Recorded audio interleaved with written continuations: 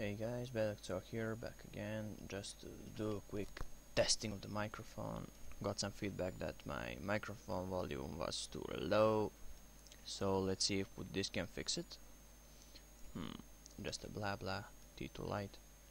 Not gonna do a review, just take a look in the garage to see what's it about, to see I, oh sorry, to see if I fix my volume now, and that's about it.